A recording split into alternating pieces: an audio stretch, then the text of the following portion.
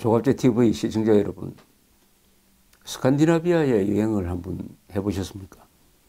스칸디나비아 3국이 있습니다. 덴마크, 노르웨이, 스웨덴이죠. 어, 여기에 핀란드와 아이슬란드를 붙이면 다섯 개 나라가 되는데 이런 나라를 보통 노르딕 칸출이라고 그럽니다. 어, 북방 5개국 좀 되죠, 5개국. 이 다섯 개 나라는 공통 분모가 하나 있습니다. 그건 바이킹하고 관계가 있습니다. 바이킹. 덴마크, 노르웨이, 스웨덴은 바이킹이 이 세운 나라다. 어, 그런데 그 옆에 있는 핀란드는 그 인종적으로 보면은 이 아시아 계통이 좀 섞여 있습니다. 그리고 아이슬란드는 노르웨이 사람들이 가서 탐험한 어, 개척한 나라죠. 어쨌든 이 지배적인 문화가 바이킹입니다. 바이킹 문화인데. 바이킹 하면은 뭐 수많은 영화 드라마를 통해서 잘 아시겠지만은 어, 8세기, 9세기, 10세기 한 300년 동안 유럽을 약탈한 해적이기도 하고 또는 이 무역상들이기도 하고요. 또 어떤 나라를 다스릴 때는 아주 행정을 잘한 아주 여러 가지 얼굴을 가지고 있는 특출한 민족입니다. 이 바이킹은. 이 사람들이 이제 11세기, 2세기부터는 기독교를 받아들여 가지고 사람들이 좀 순해집니다. 그러면서 각자 나라를 이제 발전시키게 되는데 이 노르웨이, 덴마크, 스웨덴 중에서 가장 강국은 덴마크였습니다. 덴마크. 지금은 오히려 덴마크 하면 평화의 나라로 알려져 있지만은 옛날에는 덴마크는 아주 싸움박질을 잘하는 그 바이킹 싸움박질 잘하는 바이킹 중에서도 또 싸움꾼이었습니다. 덴마크. 노르웨이 사람들은 탐험을 또 잘하는 사람들이고 스웨덴은 바이킹 중에서도 이 상업에 일찍 눈을 뜬 사람들입니다. 이 세 나라가 이 방향이 좀 다릅니다. 어, 덴마크가 가장 덴마크 바이킹이 가장 용감하게 어, 유럽을 약탈하고 한때는 어, 영국을 뭐 통일해가지고 식민지로 다스리기도 하고 또 노르만디에 정착해가지고 노르만디 공국을 만들고 노르만디 공국이 잉글랜드로 쳐들어가서 잉글랜드의 정복 왕조가 되고 하여튼 난리, 난리 나릅니다. 이 덴마크. 그래서 덴마크, 노르웨이, 이 스웨덴 중에 덴마크가 이, 세 나, 이 나머지 두 나라를 지배했던 시절이 있었습니다. 그때, 그 다음에 이제 16세기 때부터 스웨덴이 독립해서 나가고 또 스웨덴하고 노르, 노르웨이는 같은 나라로 이렇게 붙어 있다가 또 노르웨이마저 이제 독립해 나가고 해서 이 세 나라가 지금 스칸디나비아 상국이 됐습니다. 스칸디나비아 상국 하면은 한국에는 6.25 때 의료 지원단을 보내준 나라 국립의료원 국립의료원을 지어준 정말 고마운 나라죠. 이분들이. 그뿐이 아닙니다.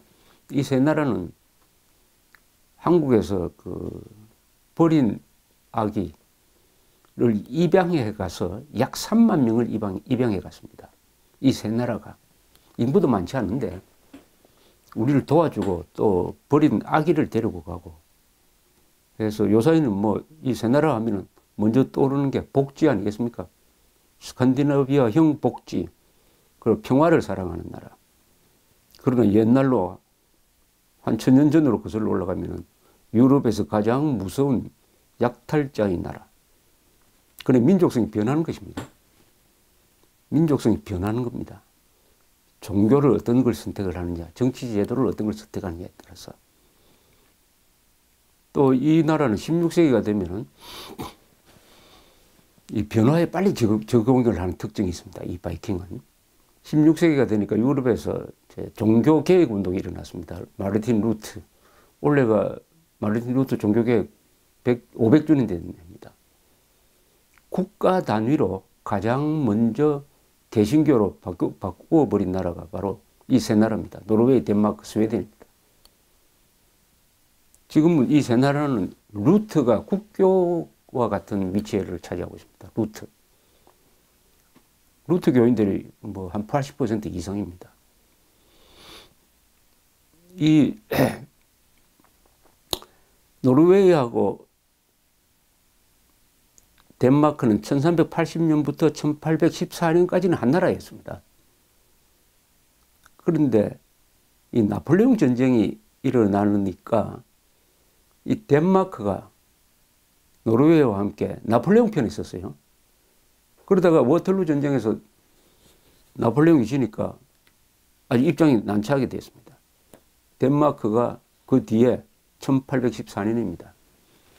워털루 전쟁 한 해 전에 이미 나폴레옹의 폐색이 짙어졌을 때 노르웨이는 덴마크를 아, 덴마크입니다. 덴마크가 노르웨이를 스웨덴에 넘겨줍니다. 이제 이렇게 해서 이제 노르웨이 주인이 바뀌었습니다. 스웨덴이 노르웨이를 통치하기 시작합니다. 그러나 같은 바이킹이고 종교도 갖고 하니까 뭐 이렇게 착취를 한다든지 그런 건 없었습니다. 그러다가 노르웨이가 1905년에 어, 약 91년 만에 스웨덴과 분리해가지고 독립을 합니다. 이게 지금 노르웨이죠. 그것으로 치면 노르웨이는 좀 젊은 나라입니다. 1905년에 독립했으니까 뭐 112년째입니다. 이때 그러면 노르웨이 사람들은 공화국을 갈 거냐, 왕국을 갈 거냐, 이렇게 선택을 해야 했습니다. 근데 노르웨이도 옛날에 왕정이 있었는데, 덴마크 밑에 있는 바람에 막 이 왕정의 맥이 끊어지고 해가지고, 왕가가 없었습니다. 그런데도 노르웨이 사람들은 왕, 왕국으로 가는, 공화국이 아니라 왕국으로 가는 선택을 했습니다. 그런데 왕가가 없거든요. 왕을 수입을 했습니다. 어떤 식으로 했냐. 덴마크, 덴마크의 왕자 카를 모셔와 가지고 왕으로 추대했습니다. 그래서 노르웨이는 지금 왕국입니다. 이 덴마크 왕, 왕자 카를은 이 노르웨이 왕이 된 다음에 이름을 하콘 7세라고 바꿨습니다. 하콘 7세. 하콘이라면 이 노, 바이킹 때의 이름입니다. 그 아들은 올라브라고 해서 왕세자가 되고 지금은 올라브의 아들 하랄드 5세가 지금 다스리고 있습니다. 하랄드, 올라브, 뭐 하콘 이거 다 바이킹 때 이름입니다. 노르웨이 왕가는 뭐 별도 재산이 없고 국민 세금으로 생활하고 아주 평민처럼 산다고 합니다. 이 북구에서 덴마크와 스웨덴은 이 한국과 일본처럼 오래된 라이벌 관계였습니다. 이 스웨덴이 덴마크에 눌려 있다가 한 16세기 경에 독립한 다음에는 군사 강국이 됩니다. 특히 17세기에 들어가면은 스웨덴 육군은 유럽 최강이었습니다. 그때 구스타프 아돌프라는 사람이 나타나가지고 아돌프 구스타프 왕이 나타나가지고 보병, 기병, 포병을 통합한 현대적 군사 제도를 갖추어가지고 이 30년 전쟁에 개입을 합니다. 30년 전쟁은 구교와 신교가 독일을 무대로 싸운 전쟁이었는데 이때 스웨덴은 개신교의 수호자로서 개입을 해가지고 이 스웨덴 군대가 독일을 아주 휩쓸고 다닙니다. 그러다가 구스타프 왕이 전사를 했습니다. 이때가 스웨덴의 피크입니다. 스웨덴이 강국으로서 피크고 그 다음에는 뾰또르 대제가 등장한 러시아에 밀려가지고 북방 전쟁을 하다가 결국 러시아에게 패권을 넘겨주고 맙니다. 하여튼 스웨덴도 유럽에서 한때 최강국에 올랐던 나라입니다. 어, 그런데 1810년에 나폴레옹이 유럽을 석권하고 있을 때 스웨덴 왕은 칼 13세란 사람이었습니다. 이 사람도 왕세자가 죽어가지고 이제는 자기 가문에서는 왕을 추대할 사람이 없게 되었습니다. 이렇게 되면 귀족회의가 후, 후임 왕을 결정을 하는데 이, 이 귀족회의가 스웨덴 귀족회의가 또 왕을 수입을 하게 됩니다. 누굴 수입하느냐 하면은 나폴레옹 밑에서 근무하고 있던 장 바티스트 베르나도트 장군을 왕세자로 추대를 합니다. 왕세자로 수입해가지고 추대를 합니다. 근데 이 사람은 프랑스 사람입니다. 아주 나폴레옹이 신임하는 사람이었습니다. 원수였습니다. 원수. 이 나폴레옹이 프랑스가 이 독일을 점령하고 있을 때 이 베르나도트 장군은 함부르크 일대를 통치하는 총독이었습니다. 총독으로 근무하던 중에 스웨덴 귀족이 와서 우리나라 왕이 되어주세요 하니까 스웨덴으로 가서 스웨덴 군 참모 총장이 되었습니다. 그런데 나폴레옹이 이제 막 몰리기 시작하니까 스웨덴이 영국 편으로 돌아가지고 나폴레옹을 공격하게 됩니다. 이러니까 스웨덴의 왕세자인 이 프랑스 사람 베르나도트는 스웨덴 군을 지휘해가지고 나폴레옹을 또 공격을 합니다. 이게 뭐 과거의 상관 뭐 이런 개념이 아니죠. 1818년 칼 13세가 죽었습니다. 프랑스에서 수입한 베르나도트 장군이 스웨덴 왕이 되었습니다. 칼 요한 14세로 불리게 되었습니다. 지금 스웨덴 왕의, 왕이 다 이 사람 후손입니다. 그러니까 프랑스 장군을 수입을 해가지고 왕자리에 앉히고 그 후손들이 지금도 스웨덴 왕입니다. 스톡홀름에 가보면은 그 바닷가에 스웨덴의 거대한 왕실이 있죠.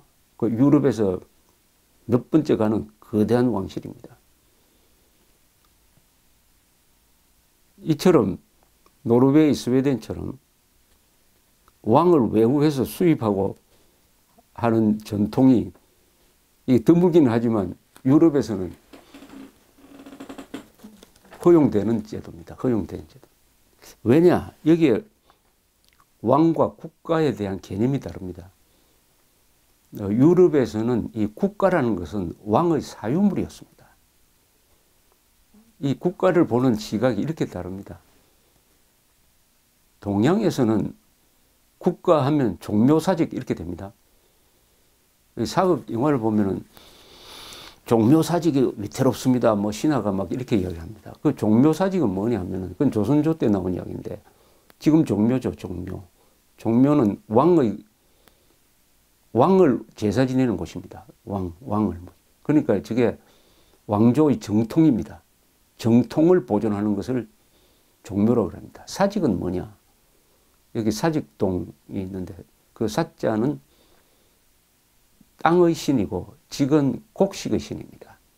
땅과 곡식, 즉 경제, 백성을 상징하는 겁니다. 한 국가라는 건 뭐냐? 왕으로 상징되는 주권이 있어야 된다. 정통이 있어야 된다. 그 다음에 사직으로 상징되는 백성과 국토가 있어야 된다. 양식이 나와야 된다. 이걸 합쳐서 종묘사직. 이게 국가입니다. 동양에서 말하는 국가는 종묘사직이에요. 이 종묘사직이란 말은 옛날 중국에서 나온 말입니다. 그래서 동양에서는 국가라고 하면은 왕의 소유물이 아니고 이건 근본적으로 국토, 백성이 있는 이 개념입니다. 그러니까 국민, 백성 개념이 강해요. 그러니까 유럽에서는 정복 왕조가 워낙, 워낙 세서 노니까 그 국가 그것도 별거 아니다. 어느 왕조가 쳐들어가서 차지해버리면 그게 사유물 되고 망해버리면 빼앗기는 거고 결혼을 해가지고 뭐 사위가 가진 국가와 뭐 아들이 가진 국가, 며느리가 가진 국가를 몽땅 합치면 안 되는 아마 이런 식입니다. 이러니까 유럽을 여행하는 사람들이 이 역사 이해하기가 매우 힘듭니다. 유럽 역사는 국가 중심으로 이해하면 안 틀립니다. 왕조 중심으로 봐야 됩니다. 왕조. 왕조 중심. 예, 를 하나 드리겠습니다. 스페인 여행을 하시면 제일 자주 만나는 이름 한 사람, 왕의 이름이 하나가 있습니다. 에, 카를로스 1세입니다. 카를로스 1세. 이 사람 16세기의 스페인 왕이었습니다. 근데 이 사람은 호칭이 많아요. 스페인 왕이기도 하고 신성 로마 제국 황제이기도 합니다. 신성 로마 제국은 독일 주변의 지역을 다스리고 있었던 지금 오스트리아에 근거지를 둔 합스부르크 왕조죠. 합스부르크 왕조 사람입니다. 이 사람은. 그런데 어떻게 스페인의 왕이 되었느냐 하면은 이건 결혼을 통해 가지고 또 상속을 통해 가지고 어떻게 어떻게 하다가 독일 지역도 다스리는 사람이 되고 스페인 왕좌, 왕좌도 이어받게 되었습니다. 이렇게 함으로써 유럽에서 가장 강한 나라, 이 독일과 스페인을 동시에 다스리는 사람이 되었고, 그때 또 스페인이 잘 나가는 나라였습니다. 왜냐하면 콜럼버스가 1492년에 아메리카 대륙에 진출한 다음에 본격적으로 남북 아메리카 대륙으로 스페인 사람들이 진출해가지고 아즈텍, 마야, 잉카 문명을 흡수하고 있을 때입니다. 또 마젤란의 세계 일주를 원문했는데 마젤란이 필리핀까지 식민지로 만들고 하니까 이 칼, 칼로스 1세 시절이 스페인의 전성기가 됩니다. 당시에 카를로스 1세가 직접 통치했던 지역의 면적이 400만 평방킬로미터라고 합니다. 한반도의 20배쯤 되죠. 한번. 해가 지지 않는 제국이란 말이 이때 처음 나왔습니다. 바로 카를로스 1세가 다스리던 어, 대제국이었습니다.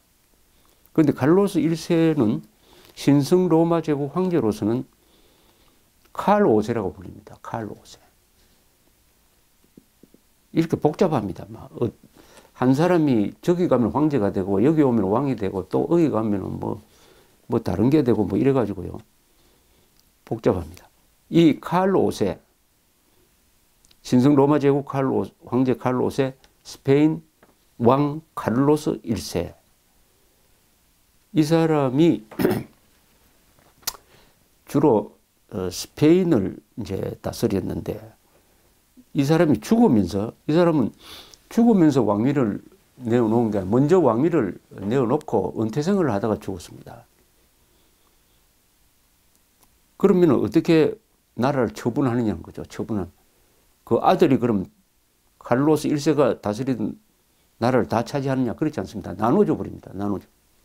칼로스 1세는 우선 동생이 있었습니다. 동생이 페르디난트 1세인데 이 사람한테는 동생한테는 신성 로마 제국을 줍니다. 즉 오스트리아 중심의 이 로마를 오스트리아 중심의 독일 독일 지역을 다스리라고 줘버려요. 아들이 있었습니다. 아들이 펠리페 2세입니다. 펠리페 2세한테는 스페인을 줍니다. 이렇게 해서 갈라져 버립니다. 카를로스 5세 시절에 이 자꾸 복잡해지네요. 카를로스 1세 칼 5세 시절 같은 사람입니다.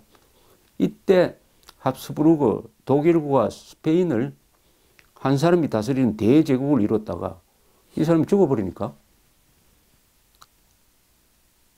지금 독일 지역은 동생한테 주고 스페인 지역은 아들한테 줬습니다. 근데 아들 몫이 더 커요. 왜냐하면 지금 식민지를 개척해가지고 아메리카 대륙, 남북 아메리카 대륙에 거대한 식민 제국을 만들고 또 포르투갈하고 그때 병합, 포르투갈도 병합을 했습니다. 또 포르투갈이 가지고 있던 뭐 브라질, 그 다음에 여기 뭡니까 필리핀, 인도의 일부 여기까지 다스리는 이 스페인 몫이 더 컸습니다. 그래서 펠리페 2세가 스페인 왕이 되면서 스페인이 최강국으로 올라갑니다. 그러다가 이 펠리페 2세가 이끌던 무적 함대가 영, 어, 잉글랜드를 쳐들어갔다가 엘리자베스 1세의 잉글랜드 해군한테 에, 격파를 당하죠. 격파당합니다. 그리고 펠리페 2세 시절에 또 거대한 나라가 하나 생깁니다. 융성하고 있었습니다. 그게 오스만 투르크입니다. 오스만 투르크의 전성기가 슐레이만 대제 때인데 슐레이만 대제는 헝가리로 올라와 가지고 헝가리 발칸 반도를 점령을 하고 비엔나 합스부르크의 수도인 비엔나를 포위하게 됩니다. 비엔나를. 이렇게 하니까 오스만 투르크 이슬람이죠. 이슬람 대제국과 유럽의 이 가톨릭 세계를 수호하던 펠리페 2세 군대가 이제 해전을 합니다. 그 레판토 해전이죠. 16세기 말에 있었던 이 레판토 해전에서 스페인 베니스 교황 연합군이 오스만 투르크 연합군을 무찌르고 이깁니다. 동시에 펠리페 2세는 종교개혁 때는 이 구교, 가톨릭의 수호자가 됩니다. 이런 중요한 역할을 한 사람 펠리페 2세는 그러나 독일 사람이었어요. 합스부르크는 독일이니까. 그 펠리페 2세의 궁전이 마드리드에 가면은 마드리드 근교에 있습니다. 이 스페인 여행하는 분들이 여기는 잘 안 가던데 꼭 한번 가보실 것을 권해드립니다. 에스코리알 궁전이라고 있습니다. 펠리페 2세 스페인 전성기 때의 궁전이기도 하고 무덤이기도 하고 작은 교회도 그 안에 있습니다. 돌로 만든 20년에 걸쳐서 만든 아주 육중한 근엄한 근엄한 궁전이 있습니다. 이걸 스페인의 영혼이 여기에 있다는 이야기도 합니다. 근데 스페인 나라 분위기하고 잘 맞지 않아요. 스페인은 화려하고 사람들이 밝고 이런데 이 에스코리알 궁전은 근엄합니다. 독일적입니다. 그럴 수밖에 없는 게 펠리페 2세가 합스부르크 왕조 출신이거든요. 그러다가 이 합스부르크 왕조가 계속 스페인을 어, 다스리던 시기에는 유럽에서 스페인과 이 오스트리아는 항상 이 같은 왕조가 다스리니까 다스리니까 이 친선 국가 뭐 연합 국가 동맹국 비슷한 그런 역할을 하다가 하다가 여기 스페인을 다스리던 이 왕가가 합스부르크 왕가가 끝이 납니다. 끝이 나면서 불란스 계통의 부르봉 왕가가 이제는 이어받게 됐습니다. 그때 또 전쟁이 일어납니다. 이걸 스페인 개성 전쟁이라고 하는데 18세기 초에 있었습니다. 이 영, 프랑스의 루이 14세, 프랑스의 전성기를 만든 루이 14세가 자기 가문인 사람을 스페인 왕으로 미니까 이 영국이나 다른 나라가 보니까 이러다가는 스페인하고 불란스가 한 덩어리가 되겠다. 그러면 우리는 뭐냐? 이렇게 되니까 그것을 방해하기 위해서 전쟁을 펼칩니다. 유럽에서 양쪽으로 갈려가지고 큰 전쟁이 벌어집니다. 이 전쟁으로 나중에는 결국 휴전을 하게 되는데 부르봉 왕가가 왕가가 스페인 왕은 되지만은 불란스와의 관계는 단절한다. 불란스하고 무슨 통합 국가가 된다든지 하는 것은 안 된다 하는 식으로, 식으로 합의를 보게 되죠. 이게 스페인 개성 전쟁입니다. 지금까지 말씀드린 것은 유럽에서 있었던 이 역사가 다 왕가끼리의 싸움이었습니다. 국가끼리의 싸움이 아니었습니다. 왕가끼리의 싸움이었습니다. 그러니까 루이 14세가 태양왕이라고 불리는 베르사유 궁전을 만든 루이 14세가 짐이 국가다라고 할 수 있었던 것이죠. 왕이 바로 국가였습니다. 왕이 바로. 그러다가 이제 18세기, 19세기 올라가면서 왕의 독점 시절이 끝나고 백성들의 힘이 커지고 청교도 혁명이 일어나고 불란서 대혁명이 일어나는 과정에서 국가는 국민의 것이다. 이렇게 되는 것이죠. 그러다가 19세기 들어오면은 유럽에서 마지막까지 분열되어 있었던 두 나라, 이탈리아가 1860년에서 61년에 걸쳐서 통일을 하고 그 10년 뒤에 독일이 그 수많은 나라로 분열되어 있었던 독일이 프러시아 중심으로 통일을 합니다. 오스트리아는 그냥 남고 이렇게 하면서 국민국가가 생긴 겁니다. 그걸 nation state라고 합니다. 한민족이 한 국가를 만들어야 된다. 이렇게 해서 nation state 국민국가가 등장하게 됩니다. 그전에는 왕조국가였습니다. 이 말의 서두가 좀 길어졌는데 왕을 수 노르웨이와 스웨덴이 지금 지금 왕이 다 수입된 왕이었다 하는 이야기를 하다가 보니까 이 왕과 국가와의 관계, 이 서양과 동양의 차이를 말씀드리게 되었습니다. 여러분들이 유럽 여행할 때 다소 도움이 되었으면 좋겠습니다. 감사합니다.